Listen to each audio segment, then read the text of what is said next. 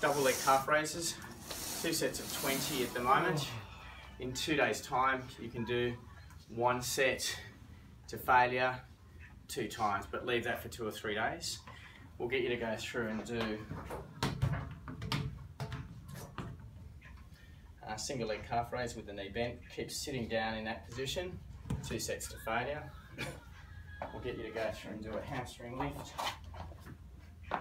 So you get up here in this last little bit, and get you to go through and do 50, turn around, leg up onto here, and a hamstring lift, 50 repetitions, and your sideways 100, big toe stretch.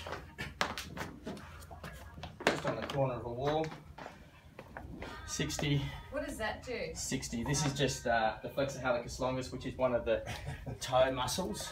Yeah. Never heard that one. before. Done. Is it